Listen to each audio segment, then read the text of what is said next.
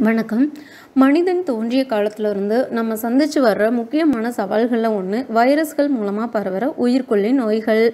இப்போ மக்களை மிரட்டிட்டு இருக்கிற ஒரு நச்சு வைரஸ் நம்மளை தாக்கிடாமல் தடுக்கிறதுக்கு ஒரு நாளில் பல முறை கை கழுவுறது தான் மிகச்சிறந்த வழின்னு மருத்துவ உலகத்தில் இருக்கிறவங்க சொல்கிறாங்க இருந்தாலும் நீரிழிவு நோய் பாதிப்பு கொண்டவங்க இரத்த கொதிப்பு இதய நோய்கள் நுரையீரல் சார்ந்த நோய்கள் கொண்டவங்க அது மட்டும் இல்லாமல் நாள்பட்ட நோய்கள் இருக்கிற முதியவர்கள் போன்றவர்களை இந்த வைரஸ் அதிகமாக தாக்குற ஆபத்து இருக்குன்னு மருத்துவர்கள் சொல்கிறாங்க இவர்களில் டைப் ஒன் மற்றும் டைப் டூ நீரிழிவு நோய் இருக்கிற நோயாளிகளை இந்த வைரஸ் தாக்கும் வாய்ப்பு மிகவும் அதிகம்னு கூறப்பட்டு வந்தது.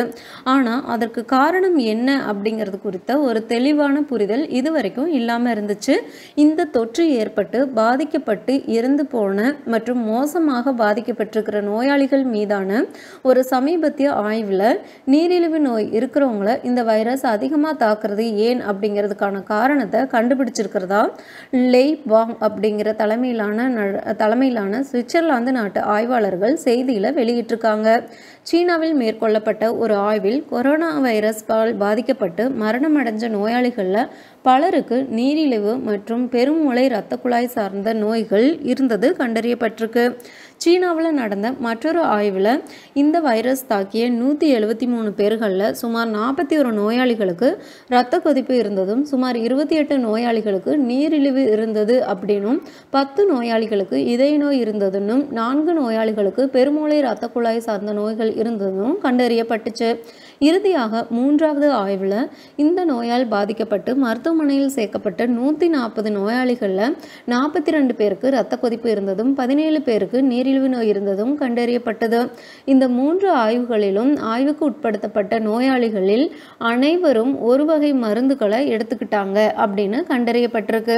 துரதிருஷ்டவசமாக மனிதர்களை தாக்கும் இந்த வைரஸ்கள் ஒரு வகையான என்சை மூலமாகவே மனித உயிரணுக்களை தாக்கி அவற்றில் நுழைதுன்னும் இந்த என்சைமை நுரையீரல் குடல் சிறுநீரகம் மற்றும் இரத்த நாளங்கள் ஆகிய அனைத்து உடல் பாகங்களும் உற்பத்தி செய்து அப்படின்னும் கண்டுபிடிக்கப்பட்டிருக்கு.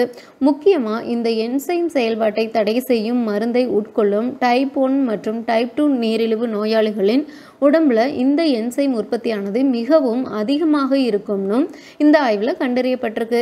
இதுபோல இரத்த கொதிப்பு நோயாளிகள் உட்கொள்ளும் சில மருந்துகள் இந்த வைரஸ் மனித உயிரணுக்களுக்கு உள்ளே நுழையிறதுக்கு உதவுற என்சைம் உற்பத்தியை அதிகரிக்கும் அப்படிங்கிறதும் இங்கு குறிப்பிடத்தக்கது.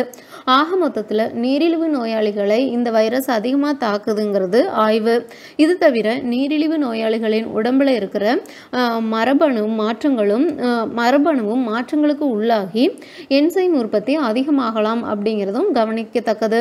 அதனால நீரிழிவு நோயாளிகளை இந்த வைரஸ் தாக்குறத தடுக்கணும் அப்படின்னு சொன்னால் நீரிழிவு நோயாளிகள் தாங்கள் வழக்கமாக எடுக்கிற மருந்துகள் எடுப்பதை தவிர்த்து வேறு மருந்துகளை எடுத்துக்கலாமா அப்படிங்கிறத மருத்துவர்களை ஆலோசித்து முடிவு செஞ்சால் இந்த வைரஸ் தாக்குதலை அவர்களால் தவிர்க்க முடியும்னு இந்த ஆய்வாளர்கள் பரிந்துரை செய்கிறாங்க.